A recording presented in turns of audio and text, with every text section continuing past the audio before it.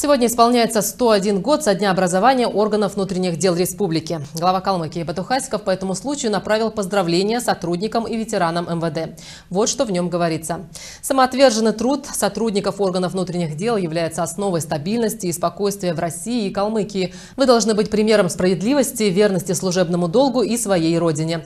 Во многом именно от вашей работы и профессионализма зависит отношение общества к полиции и государству. Особая благодарность ветеранам органов внутренних дел республики.